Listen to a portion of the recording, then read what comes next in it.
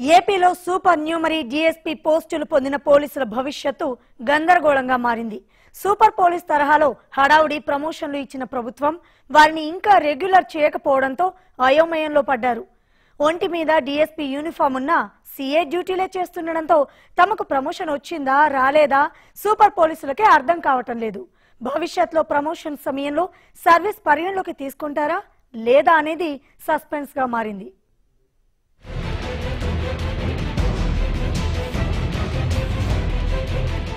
AP police డిపార్ట్మెంట్లో పంతొమ్మిది వందల తొంభై ఒకటి బ్యాచ్ ఎస్ఐల ప్రమోషన్ త్రిశంకు స్వర్గంలా మారింది.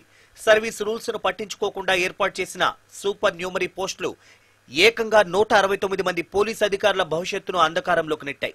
పంతొమ్మిది వందల తొంభై ఒకటి బ్యాచ్కు చెందిన ఎస్ఐలు వారు పనిచేసే పోలీస్ రేంజ్లలో సీనియారిటీ ప్రకారం సీఏలుగా పదోన్నతులు పొందారు. వివిధ ప్రాంతాల్లో విధులు నిర్వహించారు. అయితే రాష్ట్ర విభజన సమయంలో డీఎస్పీలుగా ప్రమోషన్ లిస్టులో ఉన్న వాళ్ళందరికీ పదోన్నతులు కల్పించాలి. సీనియారిటీ జాబితా రూపొందించి పదోన్నతులు ఇవ్వాలి. అయితే అప్పటికే సీఐలుగా పదోన్నతులు పొందిన పంతొమ్మిది వందల తొంభై ఒకటి బ్యాచ్ ఆఫీసర్లను అప్గ్రేడ్ చేసి రెండు వేల పద్నాలుగు సెప్టెంబర్ నెలలో నూట అరవై తొమ్మిది మందికి డిఎస్పీలుగా పదోన్నతులు కల్పించారు. కానీ తదుపరి ఉత్తర్వులు ఇచ్చే వరకు ప్రమోషన్లను సూపర్ న్యూమరీ పోస్టులుగా పరిగణించాలని జీవోలో ట్విస్ట్ ఇచ్చింది ప్రభుత్వం.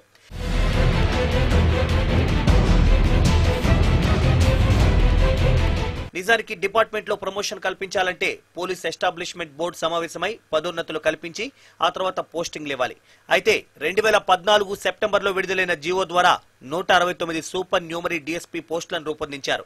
మొదటి దశలో నూట ఇరవై మూడు మంది సీఏలను అప్గ్రేడ్ చేసి పదోన్నతులు కల్పించారు. అయితే ఈ సూపర్ న్యూమరీ పోస్టుల క్రియేషన్లోనే పెద్ద ట్విస్ట్ ఉంది. సూపర్ న్యూమరీ పోస్టులను రూపొందించక ముందే పంతొమ్మిది వందల తొంభై ఒకటి బ్యాచ్కు చెందిన ఇరవై మందిని డీఎస్పీలుగా ప్రమోట్ చేశారు. విశాఖ రేంజ్ లోను రాయలసీమ పరిధిలోనూ పోలీస్ ఎస్టాబ్లిష్మెంట్ బోర్డు సమావేశం అవ్వకుండానే ప్రమోట్ చేశారు.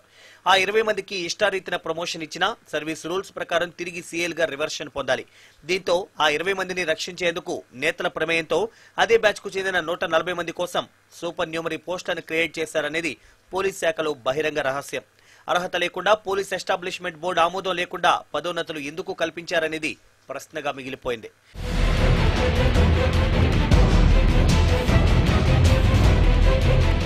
ఇరవై మంది కోసం నూట నలభై మంది సూపర్ న్యూమరీ డీఎస్పీలుగా పదోన్నతులు పొందినా ఆ ఆనందం యూనిఫామ్ వరకే పరిమితమైంది. డీఎస్పీ పోషన్లో సిఐ విధులని నిర్వహిస్తున్నారు. నాలుగేళ్ళైనా రెగ్యులర్ కాకపోవడంతో వారి సీనియారిటీ ఏ రకంగా పరిగణలోకి తీసుకుంటారో అర్థం కాని పరిస్థితి. సర్వీస్ రెగ్యులర్ కాకపోవడంతో తదుపరి అడిషనల్ ఎస్పీలుగా ప్రమోషన్స్లో అర్హత ఉంటుందో లేదో తెలియని అయోమయంలో ఉన్నారు. సూపర్ న్యూమరీ డీఎస్పీలుగా దాదాపు నాలుగేళ్ళుగా సర్వీస్ పూర్తి చేసుకున్నప్పటికీ రెగ్యులర్ చేయకపోవడంతో అర్హత ఉండి కూడా సబ్ డివిజనల్ అధికారులుగా నియమించకపోవడంపై ఆవేదన వ్యక్తం చేస్తున్నారు. మరి రెగ్యులర్ డిఎస్పీల పనేంటి? ఇక్కడ ఎస్ఎఫ్ తర్వాత ఇలాగే చూసుకుంటూ పోతే ఇన్స్పెక్టర్లు ఆ రకంగా అన్యాయం అయిపోయారు. అలాగే ర్యాంక్ ప్రమోట్ ఎస్ఐల పరిస్థితి అయితే మరీ దారుణం. వాళ్ళకి ఒక ఎస్హెచ్ఓ పోస్ట్ ఇవ్వరు సరికదా. కనీసం సరైన పోస్ట్ ఇవ్వరు. వాళ్ళు అటు ఏఎస్ఐ కాదు ఇటు ఎస్ఐ కాదు. వాళ్ళ పరిస్థితి వాళ్ళ పరిస్థితి కూడా త్రిశంకు స్వర్గంలోనే. కనీసం ఈ ప్రభుత్వం వచ్చిన తర్వాత కూడా దీని మీద దృష్టి సారించి పోలీస్ డిపార్ట్మెంట్లో ఉన్న అధికారులపై అసలు ఎన్ని పోస్టులు ఉండాలి? ఎంతమంది అనవసరంగా ఉన్నారు ఎంతమంది డిఎస్పీలు అనవసరంగా పనిచేస్తున్నారు ఎంతమంది సిఐలు అనవసరంగా పనిచేస్తున్నారు అలాగే ఎంతమంది ఎస్ఐలు అనవసరంగా ఉన్నారు ఇవన్నీ క్యాలిక్యులేట్ చేసి కరెక్ట్గా ఒక ఎలా ఎలకేషన్ లిస్ట్ అనేది తయారు చేసి ఆ ఎలకేషన్ లిస్ట్ ప్రకారం దీన్ని విధులు నిర్వర్తిస్తే బాగుంటుంది. ప్రమోషన్ వచ్చిందో రాలేదో తెలియదు. ఈ నాలుగేళ్ళ సర్వీసును ఎలా పరిగణలోకి తీసుకుంటారో అర్థం కాదు.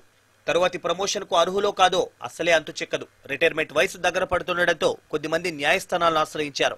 అయితే సూపర్ న్యూమరీ పోస్టుల్లో మరో ట్విస్ట్ ఏంటంటే ఇదే పంతొమ్మిది వందల తొంభై ఒకటి బ్యాచ్కు చెందిన వాళ్ళలో విశాఖ రేంజ్లో రెగ్యులర్ డీఎస్పీలుగా సబ్ డివిజనల్ అధికారులుగా పనిచేస్తున్నారు.